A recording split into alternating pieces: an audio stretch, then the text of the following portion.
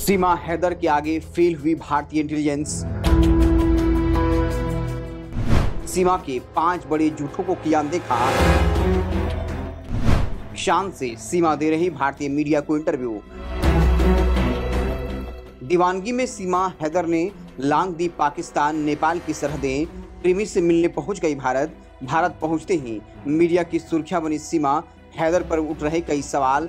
हैदर के पासवर्ड से लेकर उसकी पढ़ाई तक पर खड़े हो रहे सवाल पांचवी पास फिर भी बोलती है। फरटदार अंग्रेज़ी कंप्यूटर में भी एक्सपर्ट। लोगों का ठनक रहा दिमाग।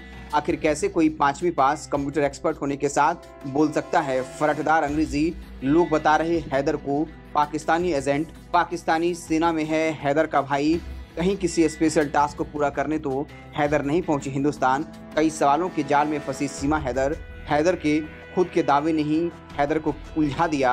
हैदर के पाँच झूठ उसकी प्रेम कहानी को सवालों के घेरे में खड़ा कर दिया। आखिर क्या है पूरा मामला? कौन कौन से हैं हैदर के पाँच बड़े झूठ? हम आपको पूरी कहानी बताएँगे, उससे पहले गुजारिश है, चैनल पर पहली बार आए हैं तो इसे सब्सक्राइब करें, वीडियो को लाइक करें। सीमा हैदर के पाँच झूठ ने उसकी प्रेम कहानी को सवालों के घेरे में खड़ा कर दिया। पहला, नेपाल के रास्ते भारत आने पर उठ रहे सवाल। सीमा हैदर के नेपाल के रास्ते भारत में दाखिल होने पर सवाल उठ रहे हैं। सीधे पाकिस्तान से वीज़ा लेकर भारत आने की बजाय सीमा ने नेपाल का वीज़ा लेकर नेपाल पहुँच भारत में दाखिल हुई। सीमा का ऐसा करना सवालों के घेरे में है। पाकिस्तानी यूट्यूबर शुएब मलिक ने सीमा पर सवाल उठाए हैं। मलिक का कहना है, सीमा पाकिस्तान की एजेंट हो सकती हैं, जो भारत में किसी स्पेशल टास्क पर भेजी गई हूँ।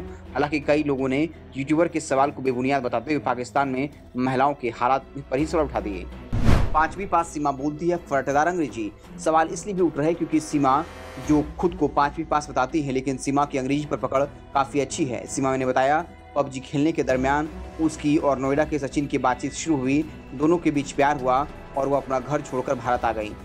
कंप्यूटर मोबाइल चलाने में एक्सपर्ट सीमा हैदर ने भले ही पाँचवीं तक की पढ़ाई की हो, लेकिन वो कंप्यूटर और मोबाइल चलाने में एक्सपर्ट हैं। पबजी खेलने की शौकीन सीमा को मोबाइल पर ही सचिन से प्यार हो गया।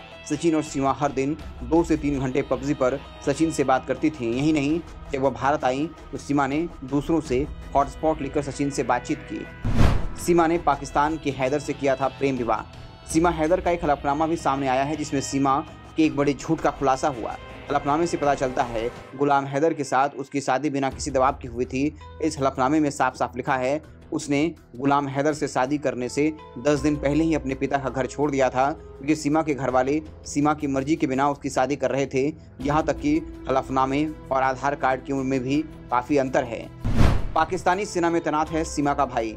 सीमा की प्रेम कहानी पर इसलिए शक बढ़ता है क्योंकि सीमा ने खुद बताया कि उसका भाई पाकिस्तानी सेना में तैनात है। अगर ऐसा है तो सीमा पर संदेह और भी ज़्यादा बढ़ जाता है। सीमा ने मीडिया को बताया कि उसने बारह लाख में अपनी ज़मीन बेची और उन रुपयों से पहले दुबई, फिर नेपाल के रास्ते भारत आई। सीमा को ये सब बताना जितना आसान लग रहा है, उतना है नहीं।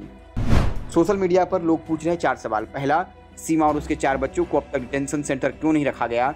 सचिन, जो कई दिनों से पाँच पाकिस्तानी नागरिक को पनाह दे रहा था उस पर कोई कार्रवाई अब तक क्यों नहीं हुई? सीमा और उसके चार बच्चों को अब तक पाकिस्तान क्यों नहीं डिपोर्ट किया गया? कैसे सीमा और उसके चार बच्चे भारत में अवैध तरीके से प्रवेश कर गए?